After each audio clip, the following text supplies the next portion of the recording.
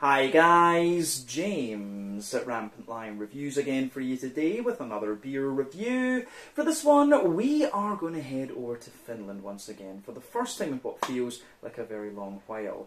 Now, as always with my Finnish reviews, I want to give a massive shout out and thank you to Riku Sanaksanaho, my Finnish beer mule. It's thanks to him that you guys get to enjoy these Finnish beer reviews here on Rampant Lion Reviews.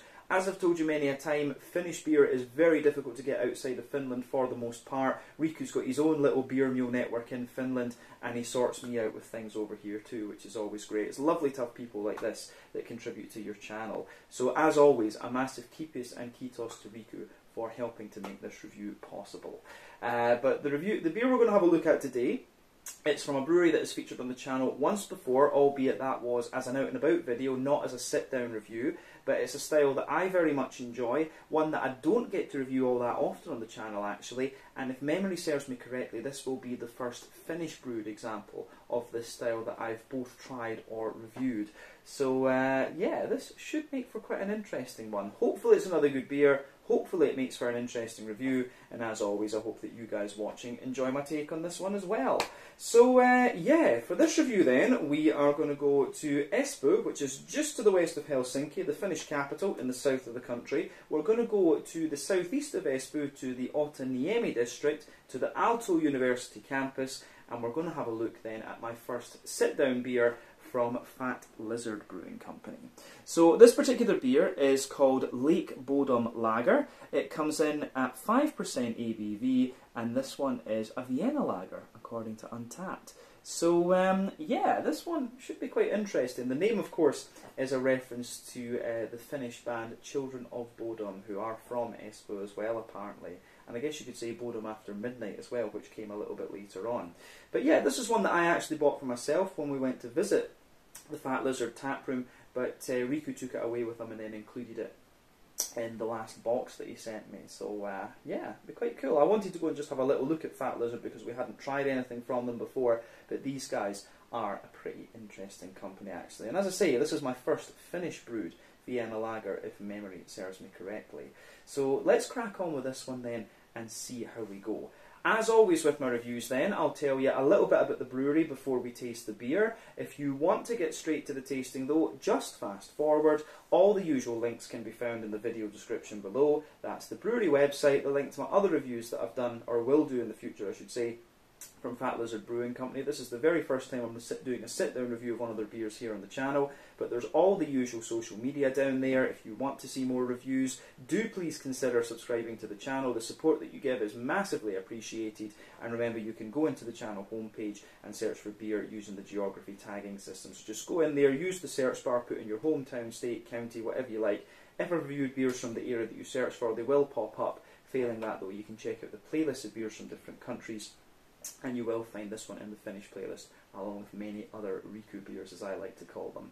But uh, yeah, let's go on then and I'll tell you a little bit about Fat Lizard Brewing Company. On to my brewery notes and I will say a massive shout out again to Riku for helping me compile these brewery notes for this one. So, Fat Lizard Brewing, as I've mentioned to you already, are based in the Otaniemi district of Espoo in Finland, just across the water from Helsinki, the capital. And this brewery's story starts back in 2013 when Heso Yinen and uh, Topo uh, Koskipa built a 20 litre brewing system in Topo's garage.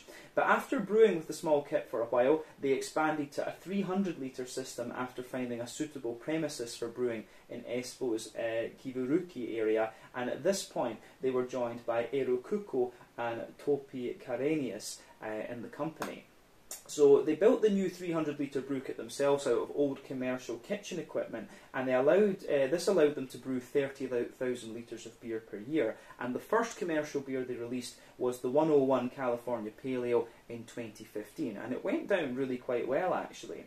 Uh, but these, all of the, they developed a few recipes after this, and all the first ones that they put out were really well received. And so they decided to expand further, and in 2017 they moved to their current location in Otaniemi, where they had at first a 6,000 litre brew kit, and at this point they were only um, selling their beers in kegs and things like this. But the new equipment, uh, but they got some new equipment a bit later on, uh, and that gave them a 300,000 litre per year brewery capacity and allowed them to can their beers as well. But a bit later in 2018, they expanded even more. This allowed them to produce 500,000 litres of beer per year, but this also meant that their alcohol tax relief dropped from 30, uh, dropped um, or increased, we should say.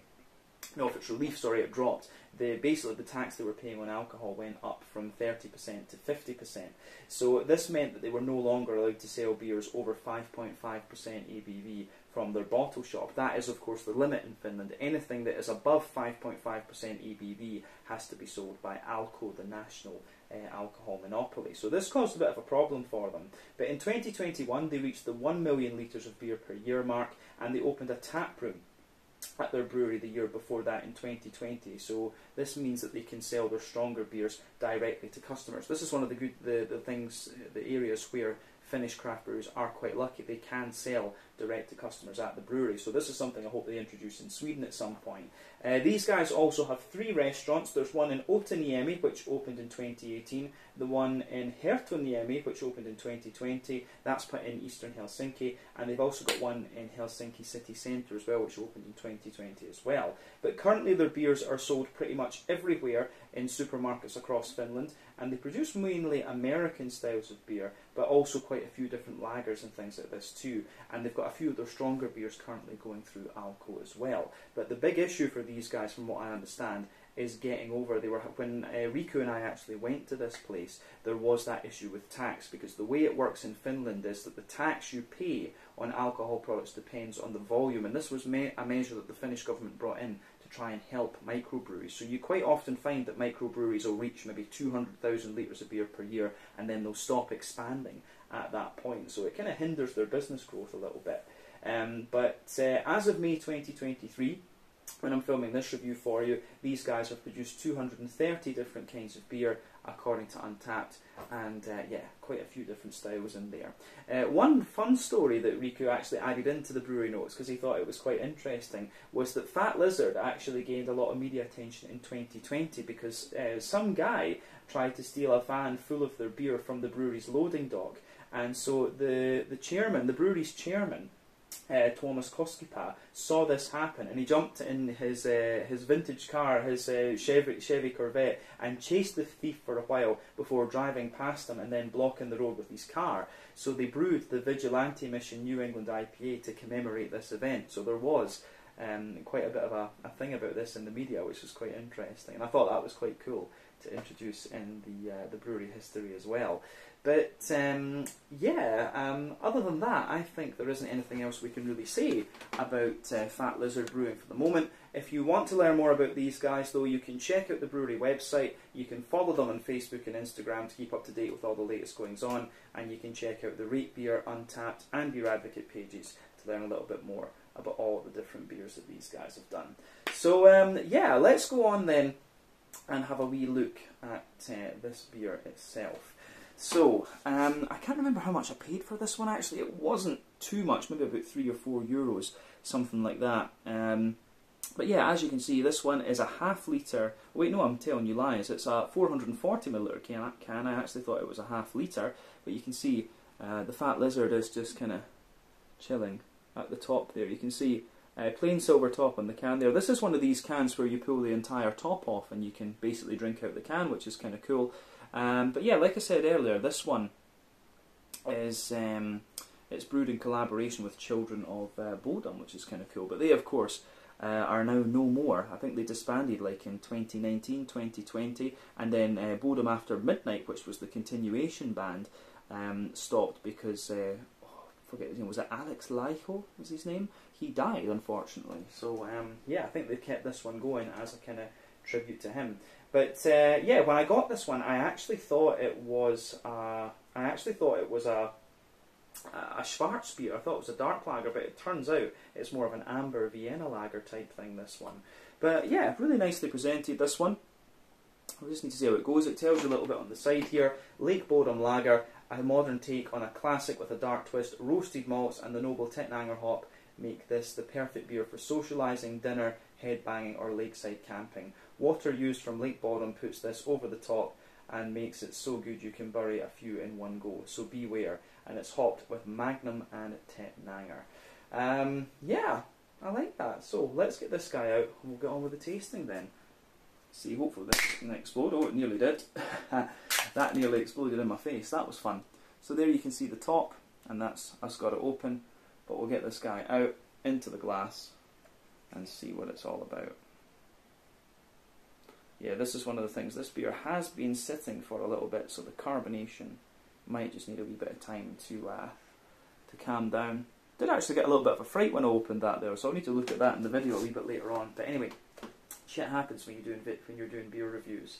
So um, yeah, anyway, as you can see, the carbonation on this beer got a little bit excited, but we can live for that. We can live with that while we have a little look at the appearance and the aroma of this one. So you can see the beer itself poured with about two fingers of a frothy, I would say kind of um, cream coloured head. It does look very, very nice. One or two big bubbles sticking toward the side of the glass and a few little foamier ones just kind of sitting on top of that. That does look um, very, very nice. You can see in terms of the, uh, the colour of this beer, it's got a lovely, very kind of rich amber note to it, this one. It's almost like a West Coast double IPA to be honest with you. But one or two big bubbles sticking toward the side of the glass, a few little ones going up toward the uh, the bottom of the head there.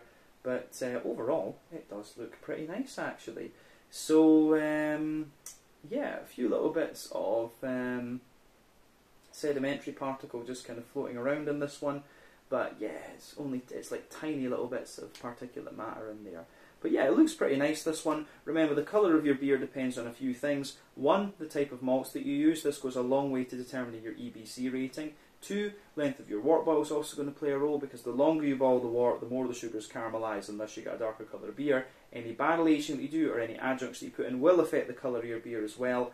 Um, but it, when it comes to most lagers, you don't often have to care about adjuncts being put into the beer, to be honest with you.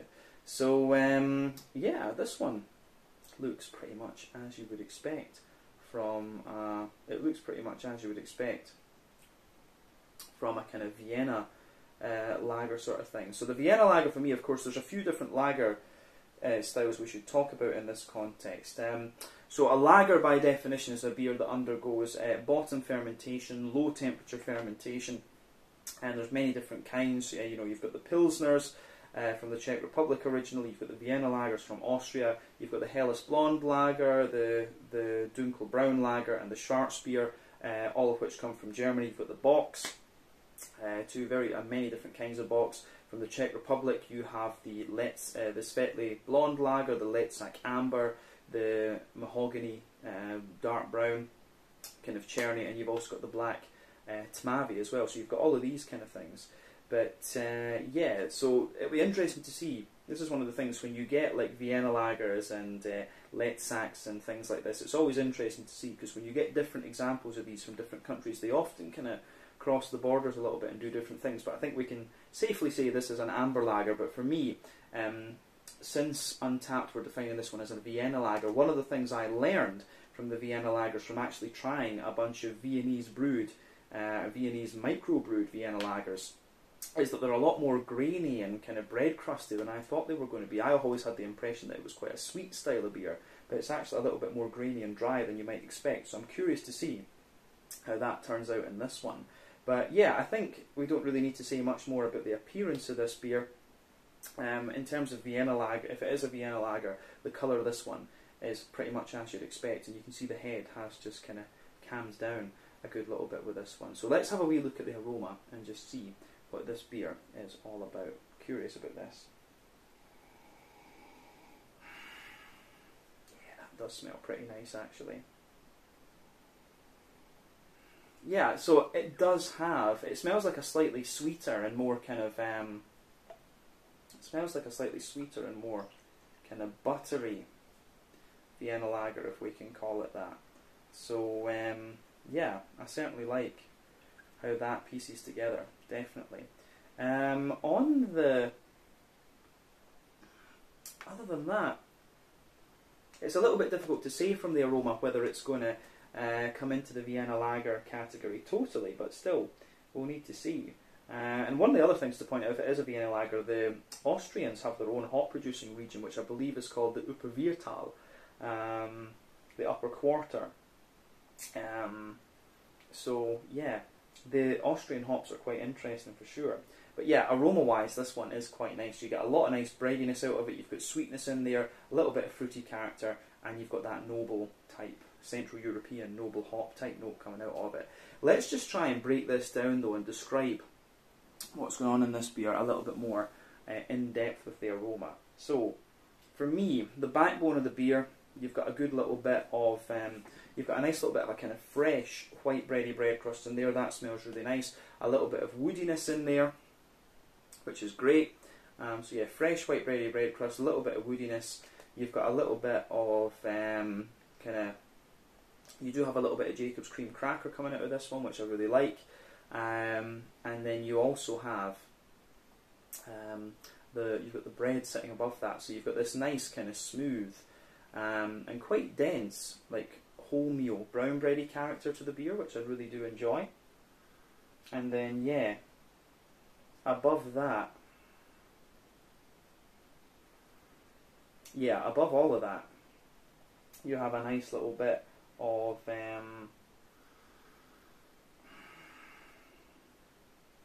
yeah, above all of that, you have a nice little bit of white bread in there too, which is good. And the, the bready character in this beer is pretty dense actually, which is, is quite interesting.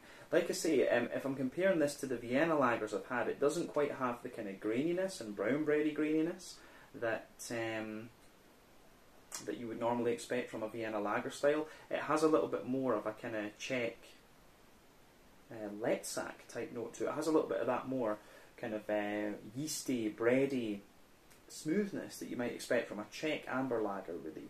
So yeah, that's kind of interesting. But above that, you certainly you get a little bit of sweet caramel in there. There's a little bit of McVitie's digestive biscuit. Um, so yeah, as I say, a little bit of McVitie's digestive biscuit, a little bit of a sweet caramel, and you've also got a little bit of a kind of Werther's original butter candy, butterscotchy type thing coming out of this beer too.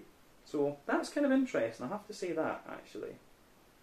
So the malty side of this one, very, very smooth, I have to say. I'm really curious to see how this is actually going to turn out in the, um, in the flavour. So, uh, I think that covers everything we need to say about the malty and yeasty side of the beer. On the hoppy side of things, it's kind of what you'd expect if you know these hops. There's a little bit of earthiness in there, and it's quite a smooth and slightly bright earthiness. You've also got a little bit of herbal character in there, uh, which is great. And then you've also got a good little bit of a kind of floral aromatic uh, sort of thing coming out of this one. So yeah, nice little bit of floral aromaticity, a little bit of a kind of lighter and wetter grassy note as well. And um, yeah, I do think that goes together pretty nicely in a sense. Uh, yeah, I like it. Yeah, aroma wise, this is pretty nice in that sense for sure. But um, yeah, the green component is pretty much what you'd expect from German noble hops. Tettnanger, of course, come from Baden-Württemberg, um, and they always give you German hops. Always give you a nice bright, uh, bright grassiness and floral note in it. So you get quite a bit of that out of this one. Um, on the fruity side of things, it's kind of what you'd expect as well. Um, so you have a little bit, dropping my keys out of my pocket. Um, you've also got a little bit of a you've got a mix of fruity character in this one. So there's a wee bit of like an oil, like a little bit of sultana, you know, dry white green grapes. You've also got a good little bit of oily pear coming out of this one, which I certainly do enjoy. And then you've also there's a wee touch of apricot and things in there as well, which um, which I do quite like too. Um, so yeah, wee tiny bit of dried apricot in there, but then I'm also getting a wee bit of a I get like a little tiny hint of a kind of orangey character out of this one and a wee bit of a lemony lime. So the way that that goes together for me is really, really very nice actually. So um, yeah, interesting stuff with this one. It goes together really nicely for sure. Um, so the way that goes together is um, is pretty nice. It's quite an interesting one. This I'm more curious with this to see how it turns out in the flavour because, like I say, it doesn't say on the can specifically that it's a Vienna lager, but that's what it's listed as on uh, on Untappd. And I was, I'm pretty sure when I got this one, you know, with it being late, uh, Children of Bodom, black metal, and all these kind of things, I thought it was going to be a Schwarzbier, kind of more symbolism and stuff. But uh, yeah, it's certainly the aroma this one strikes me as being a little bit more akin to a Czech um, kind of Letsak type beer. So yeah, that's interesting too. But let's put the rest of it out of the can and into the glass and then we'll have a taste of this one. As I always say though, take a wee bit of time to enjoy the aroma of these beers before you get stuck into them. But yeah, this one is the Lake Bodom uh, Lager from uh, Fat Lizard Brewing Company on the Aalto University campus in Otaniemi, Espoo, just across the water from Helsinki in the south of Finland. Let's get stuck in. Slàinte, skål, cheers, kippis.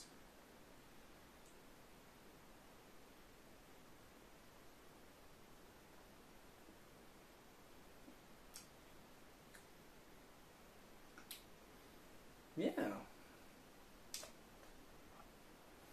It's pretty nice, actually. Really nice, kind of malty, very smooth lager beer. For me, this is pretty interesting because it actually is. I really wondered from the aroma of this if it was going to be like some of these um, Czech beer hall type um, type lager beers, and it, it has. It really has turned out like that.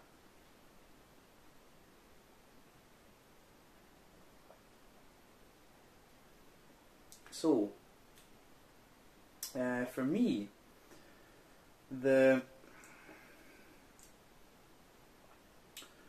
yeah, for me, the um, this really is nice. It's got that big bready smoothness to it. It's got a lovely. Um, it's this one is yeah quite a yeasty kind of raw almost uh, brew house type brauhaus type lager beer. This one, good little bit of green component to it, and you've also got the nice kind of oily fruitiness out of it. So it's really yeah really quite interesting beer. This one I have to say you know thumbs up to. Um, to Fat Lizard for this. This is quite interesting and quite different to what I've had um, from a Vienna lager in quite a wee while. Um, or as I say, a Czech Letsak. I think it's kind of, to be honest, it is kind of somewhere in the middle of these two because you do get a little bit more of the kind of graininess and stuff that you'd expect from the Vienna lager further into the aftertaste. So, yeah, interesting stuff. So, um, yeah,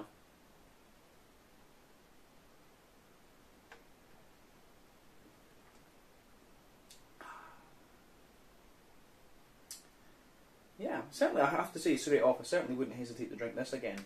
You guys watching the channel know that I'm a bit of a fan of the more malty and kind of sweet beers, so this one certainly hasn't uh, certainly hasn't disappointed in that sense either.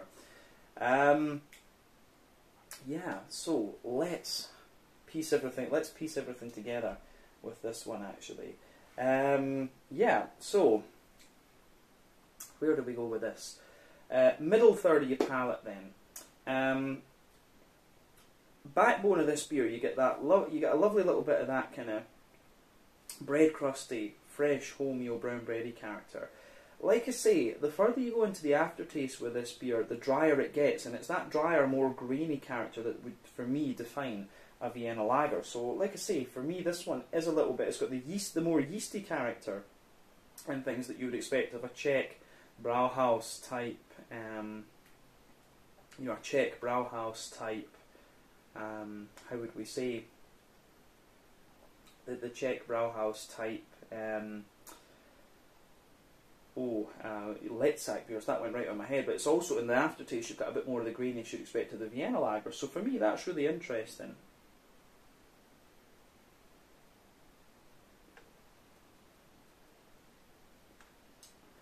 Um, yeah, that's pretty cool on the um, yeah on the uh, on top of the kind of bread crusty character, what I would say is that further forward on that middle third of your palate, you start to get a little bit of woodiness in there. Then you get a wee bit of Jacob's cream cracker sitting above it too, which is quite nice. So yeah, a bit of, as I say, the bread crusty notes in there, the quite dry bread crusty notes, a little bit of woodiness, kind of Jacob's cream cracker. Then you get quite a little bit of that dry almost rye bready character coming out of this one. Above that, you've got a little bit of a wholemeal kind of bready note in there, and then you have a little bit of that kind of fluffy white bready character too. So the way that that goes together, I think, is really quite nice actually.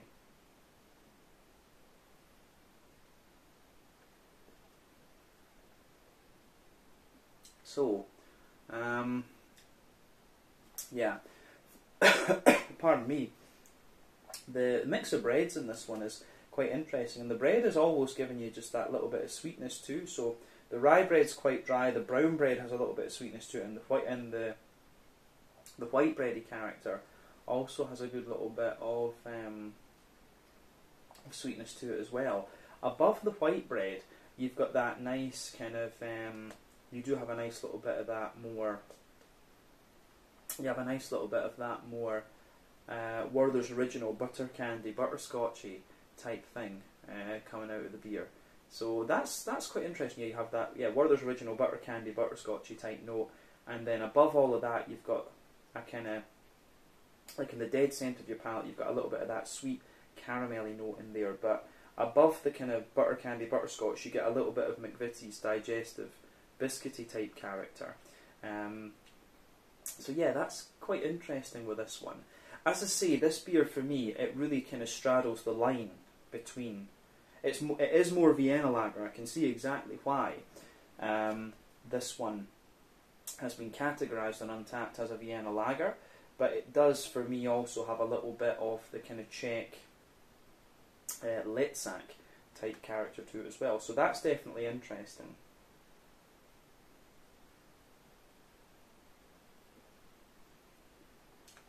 So yeah, I do like how yeah I like how that pieces together in this one. Um, yeah, so on the on top of that,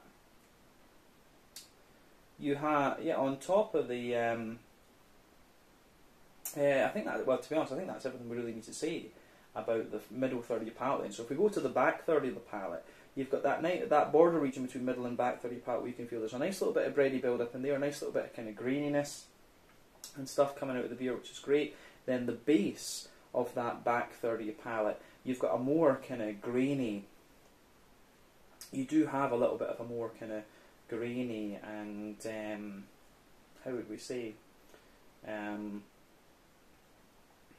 you, you know what I've always said is that on the back, like further back on the palate, the more grainy, bitter flavors come out a little bit more. Whereas going further forward, you get the sweeter uh, flavors coming out. So you can definitely feel the layers on the back third of the palate are quite similar, but they just feel a little bit drier and more grainy. So you can feel on the base of that back third of the palate, you've got the bread crusty notes in there, which are drier and more grainy. You've got a little bit of Jacob's cream cracker sitting above that. Then you've got the rye bready layer, which feels a little bit lighter and more taller and airy.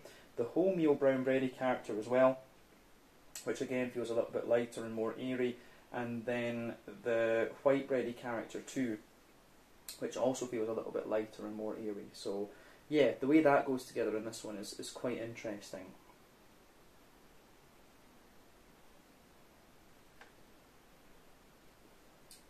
So, um, yeah, it's um, the yeah the bready characters in this one are quite nice, but definitely on the, as I say on the back third of the palate, a little bit lighter, more airy. Then you can feel a little bit of a there is a little bit of the kind of dry butterscotchy butter candy note just creeps over into the back third of the palate and sits on top of all these bready notes, and then above everything else, you have this big kind of yeasty bready character in there. So it's like a very dry, bready, yeasty sort of thing that comes out of this one. Um, and for me, that's quite um, that is quite interesting as well. So, um, yeah, the way it, the way it goes together is pretty interesting. But on the um, yeah on the um, on top of that, you've got a little bit more of a kind of yeast. Uh, the, the kind of yeasty character you get out of this one is like a very dry, brown, woody, crackery farmhouse bread. It's got a little bit of an almost kind of peppery spice to it. There is a little touch of honeycomb in there. I always get a bit of honeycomb on these um, on the back third of the palate though. So yeah, um, take that with a bit of pinch of salt. But definitely back third of the palate, you can feel the flavour is taller. Then as you move further forward, as you move further forward into the middle third of your palate, the flavour just condenses down and squashes together that little bit more. So again, yeah, I quite like how that goes together. On the uh, on the hoppy side of things, then back corners of the palate, you've got a nice little bit of earthiness in there. So I do like how that goes together. So yeah, nice little bit of earthiness there. As you move further forward, there's a good little bit of herbal character, and as you push toward the front corners of the palate, you've got as you push forward toward the kind of front corners of the palate, um, you get a nice little bit more of a kind of you get more of a kind of floral aromatic sort of thing coming out of this beer too.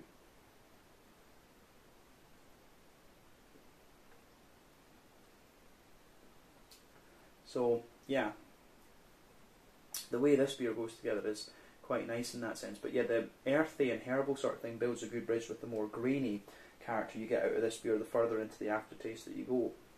But yeah, around the front curve of the palate, you've got a wee bit of lighter grassiness in there, and the grassiness does have a little bit more zestiness to it as well. We do have to remember that this beer has been sitting for a little bit, so it's not in its prime freshness. These the green component of this beer may have been uh, have kind of dropped back a little bit, but still, with a Vienna lager, it's it is a more malt forward kind of beer to be honest with you. So it should be all right. It really should be okay. Um, yeah. So in terms of the uh, yeah, in terms of the hoppy side of things, I think that's everything we need to say. So let's look at the front third of your palate and the fruity side of the beer. So the border region between front third and middle third of your palate, you get a nice little bit of kind of brown bready build up in there, a nice little bit of a smooth kind of brown bready thing as well. The base of that front third of your palate, you've got a little bit of a more kind of grainy, as I say, you get a little bit of a more kind of grainy, um, brown bready base in there. You've got a bit of cracker, then a uh, you got a little bit of cracker, and then you have a little bit more of a kind of, I would say, like a sweeter uh, brown bread. Then you've got some nice oily, fruity characters coming out on top of that as well, which I do like.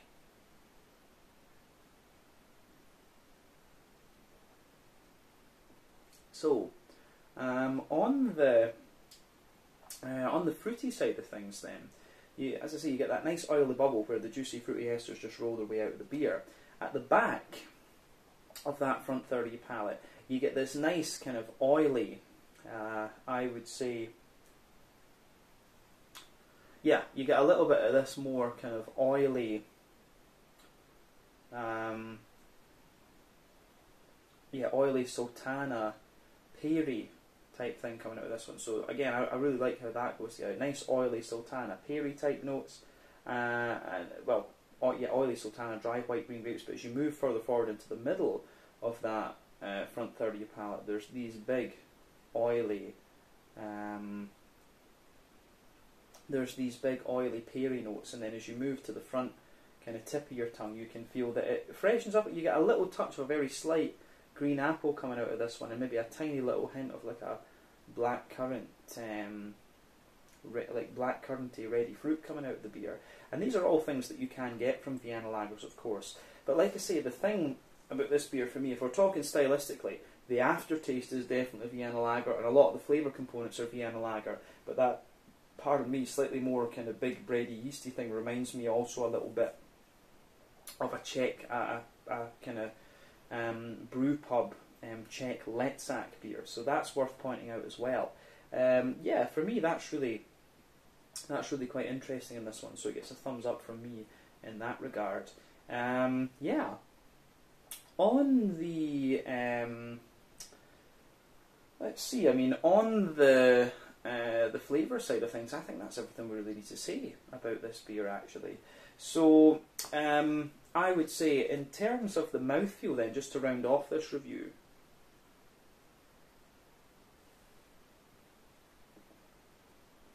for me, this beer's kind of bottom end of mid bodied, top end of light bodied.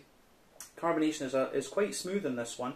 Did have a little bit of Christmas in the beginning, but I think that was just you know a bit of pressure in the can. But yeah, the carbonation in this beer has smoothed out very, very nicely. Uh, IBU wise, I think this beer is about a standard 20 IBUs. There's a good little bit of dryness in here and smoothness as well, which counts as dryness. You could mix up a little bit of that with the hoppy bitterness, so that's worth bearing in mind as well. Uh, but then, yeah, on top of the yeah, on top of the kind of bready characters and things that come out of this beer, um, yeah, you've got that nice kind of grainy bready base, smooth bread in the middle, lovely bit of kind of sweet dryness in there, and then yeah, you've got a lovely little bit of a juicy kind of fruity character as well. So the way that everything um, goes together in this one is really quite nice. It's quite a wet fruity note and kind of slightly more oily. So um, yeah, I do like how this um, how this beer goes together actually. It's uh, it's really nicely done. As I say, it leans more toward the Vienna Lager, but there is a little bit of Czech Ležák in there too. But an interesting one, and one that certainly has made me think a wee bit. But yeah, I think we can leave it at that for this one. I certainly wouldn't hesitate to drink this again. But yeah, this was the Lake Bodom Lager at 5% ABV, a Vienna lager with a little bit of Czech Ležák character from Fat Lizard Brewing Company on the Aalto University campus, uh, Otaniemi in Espoo, just across the water from Helsinki in Finland. Once again, a big, keep, uh, massive kiitos and kiitos to Riku for making this review possible, and I hope you guys have enjoyed my take on this one. Let me know your own thoughts on this beer in the comment section below. Let me know what your favourite beers are from Fat Lizard Brewing Company as well. Let me know what your favourite Children of Bodom song is too, and I will see you guys in the next review. Like I said, more Finnish reviews coming up in the next couple of weeks, so keep your eyes peeled. Slàinte, Skål, kiitos, and kiitos. Cheers just now.